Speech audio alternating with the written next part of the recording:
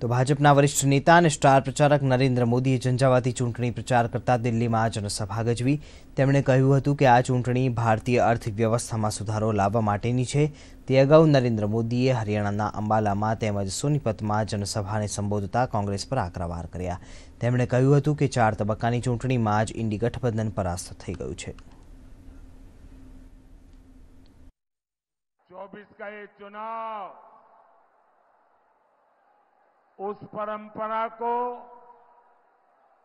चौबीस का ये चुनाव।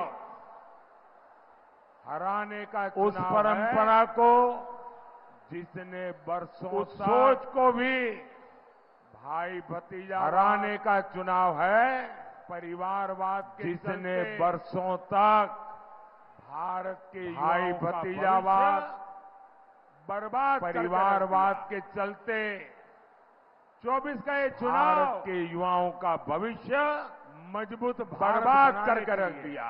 इन्हें वो पुराने दिन याद आ रहे 24 का ये चुनाव।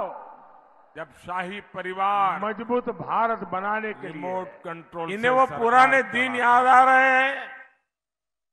जब शाही परिवार योजनाएँ रिमोट कंट्रोल से सरकार चलाता था।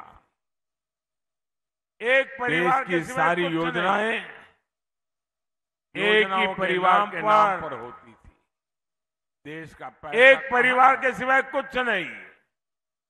ये योजनाओं के नाम पर कैसे कैसे घोटाले होते थे?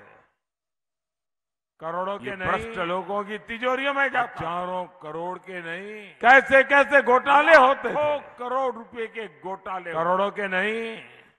साथियों हज़ारों करोड़ के नहीं नाम बदलने से लाखों करोड़ रुपए के घोटाले नहीं बदलती है। साथियों